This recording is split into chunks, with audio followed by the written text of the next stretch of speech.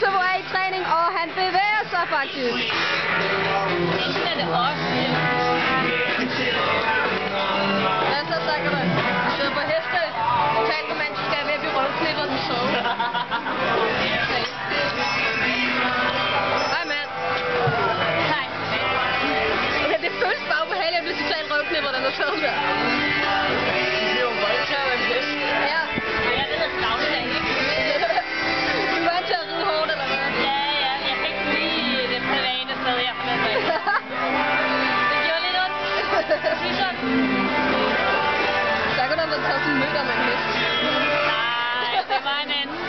até.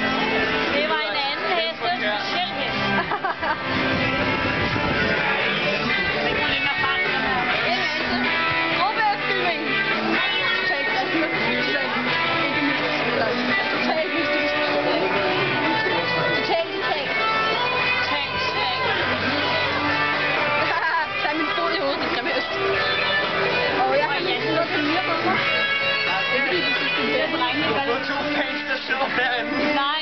Jeg tror, det er hende. Ja, jeg spørger dem, okay? Hvad? Jeg spørger, om jeg må filme, og så næste gang, så hvad hedder det, øh, spørger, om de godt kan lide dig. Prøv at holde øje med dem. Kan I godt lide Sakura?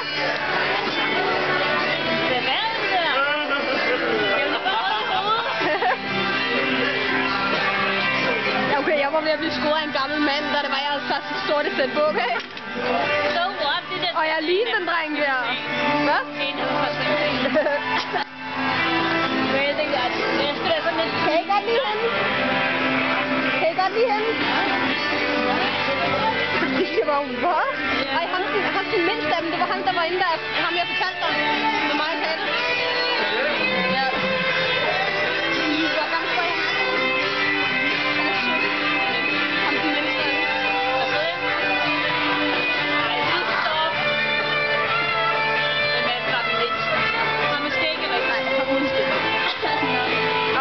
skubber hesten lidt ekstra.